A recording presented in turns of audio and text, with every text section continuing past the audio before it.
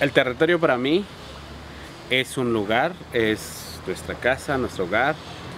es el espacio donde vivimos, compartimos, donde desarrollamos nuestra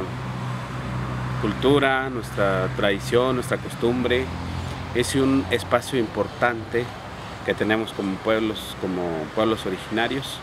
y nosotros lo consideramos como muy valioso porque es la forma de relacionarnos entre nosotros los seres humanos con la naturaleza. Es una cosmovisión indígena, maya, que nosotros valoramos mucho la vida naturaleza, que se tiene que tener un respeto hacia ello y pues ese respeto todo depende de nosotros. Entonces tenemos que cuidarlo y defenderlo.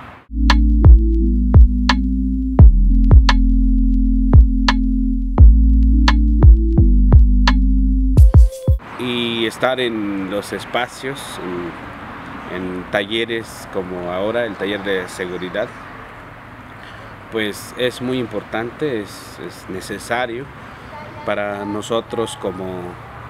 defensores y defensoras de derechos humanos de tierra y territorio porque pues atendemos casos, conflictos que suceden o llegan a suceder en las comunidades y pues este nos dicen que, atacamos intereses, son intereses muy particulares de empresas, de, sectores, en este caso ricos, que quieren pues apropiarnos de, lo nuestro, de, nuestro pueblo, de, de nuestros recursos naturales. Y pues nosotros pues no permitimos, defendemos, luchamos para que eso no sea despojado, pero en eso este, sufrimos riesgos, sufrimos amenazas y talleres de seguridad como este nos ayuda a entender los riesgos